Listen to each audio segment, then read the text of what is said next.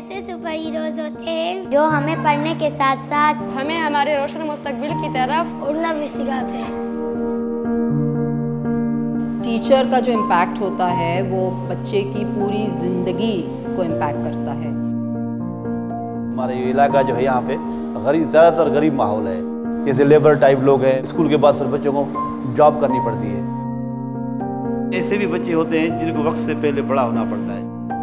जब वो स्कूल के अंदर आते हैं तो उस्ताद क्लास टीचर जो होता है उनको जो है वो बाहर की सारी चीज़ें भुला के और तालीम पे मायल करता है तालीम दिलाता है। ये पाकिस्तान का फ्यूचर है और अगर मेरे लिए पढ़ना इंपॉर्टेंट है तो इनके लिए भी पढ़ना इंपॉर्टेंट है। मैं चाहती हूँ कि पाकिस्तान का हर एक बच्चा एजुकेट हो कि कोई आके अगर उनसे कोई सवाल करे तो उसका वो जवाब दे सके। बच्चों को पढ़ाना बहुत मुश्किल काम है लेकिन टीचर जैसे हीरा नहीं तराशते हैं।